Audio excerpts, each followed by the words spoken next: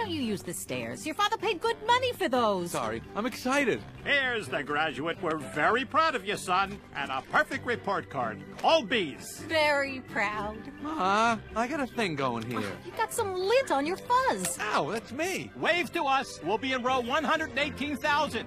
Bye. Barry, I told you, stop flying in the house. Got it? Your son's not sure. He wants to go into honey. Oh, Barry, you are so funny sometimes. I'm not trying to be funny. You're not funny. You're going into honey. Our son, the stirrer. You're gonna be a stirrer? No one's listening to me. Wait till you see the sticks I have for you. Let's open some fresh honey and celebrate. Maybe I'll pierce my thorax. To honey. Shave my antenna. honey. Shack up with a grasshopper. Get a gold tooth. And start calling everybody dog. I'm so proud. Pinky Pinky Pinky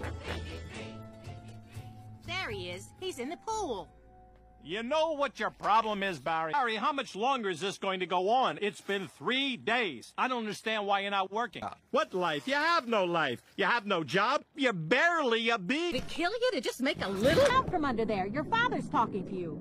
Martin, would you talk? We're still here, Barry. I told you not to yell Then why are you yelling at me? because you don't listen. I'm not listening to this. Sorry, Mom, I've got to go. Where are you going? Nowhere. I'm meeting a friend. A girl? Is this why you can't decide? Bye.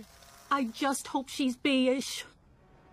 About it. Oh, Barry, stop. Who told you that humans are taking our honey? That's just a rumor.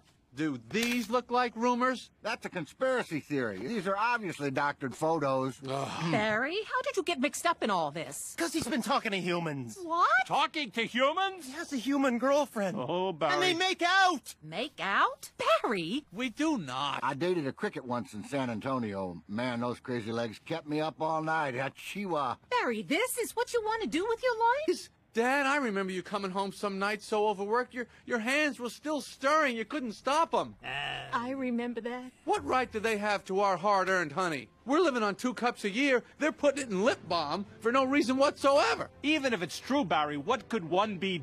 In the face? No. In the eye? That would really hurt. No. Up the nose? That's a killer. Oh, I wish he would dress like that all the time. So nice. Parents. Oh, Barry. This is Bob Bumble. We have some late breaking news from JFK Airport where a very sus- Flowers? We get behind a fellow. That means this is our last chance. We're the only. Are we good? We're bees. PJ!